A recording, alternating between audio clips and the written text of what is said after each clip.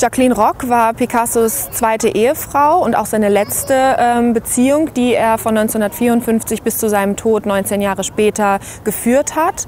Es sind somit also die finalen Jahre, die Jacqueline zusammen mit Picasso verbracht hat und die das Schaffen auch dieser Jahre äh, ähm, prägen.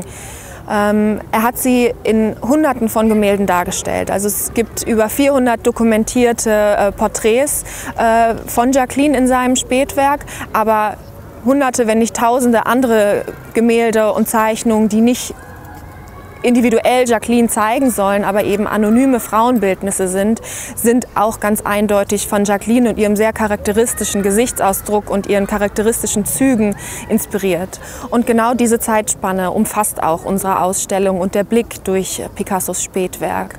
Jacqueline, euh, c'est la dernière épouse de, Picasso. Hein. Il la rencontrer en 1952, euh, puis euh, l'épouser. et, elle est omniprésente dans l'œuvre de, Picasso, dans l'œuvre tardif. On voit ses, premières apparitions très marquantes autour de 54-55, notamment dans tout le cycle d'après les femmes d'Alger de Delacroix, où Picasso a lui-même dit qu'il y avait une certaine coïncidence entre la physionomie de Jacqueline et un des personnages de la toile de Delacroix croix qui donc va être déclinée dans quantité de, portraits un petit peu orientalisants de, Jacqueline. Jacqueline est aussi présente en sculpture euh, avec euh, ce profil caractéristique, avec cette beauté très classique.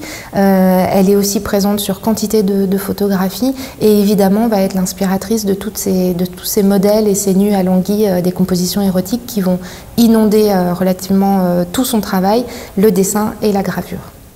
Picasso hat Jacqueline häufig in einem Schaukelstuhl dargestellt. Man sieht verschiedene Beispiele auch dieses Schaukelstuhls ähm, in den äh, Werken unserer Ausstellung. Und das war ihr Lieblingsplatz ähm, bei ihnen zu Hause. Da hat sie sich zurückgezogen, dort hat sie gelesen und ähm, dieser Stuhl repräsentiert sie in gewisser Weise auch. Es gibt manche Bilder, die sehr stark abstrahiert sind, in denen aber auch die Silhouette oder die abstrahierten Formen eines Schaukelstuhls ähm, dargestellt sind oder, oder assoziiert werden können. Und die stehen immer auch dann symbolisch symbolisch für Jacqueline. Also sie durchzieht auch als Schatten sozusagen oder als Symbol ähm, viele andere Bilder in Picassos Spätwerk.